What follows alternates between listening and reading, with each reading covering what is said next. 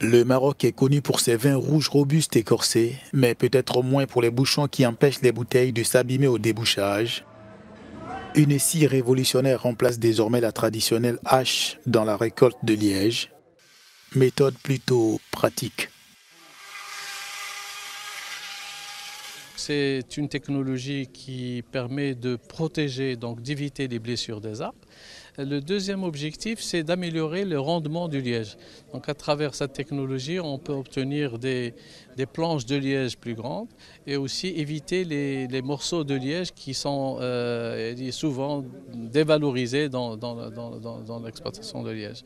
Et le troisième objectif, c'est de, de permettre donc une meilleure adaptation euh, à la période de récolte, puisque avec les changements climatiques, euh, on a remarqué que cette période devient très euh, variable et très réduite.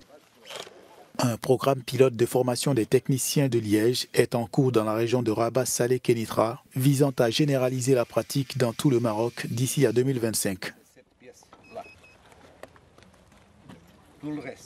Avec la machine, nous allons, nous allons travailler plus proprement et plus sainement, c'est-à-dire que la machine, elle va prendre soin de l'écorce de liège, donc il n'y aura, pas moins de blessés qu'avec la hache euh, qu'on utilisait euh, auparavant.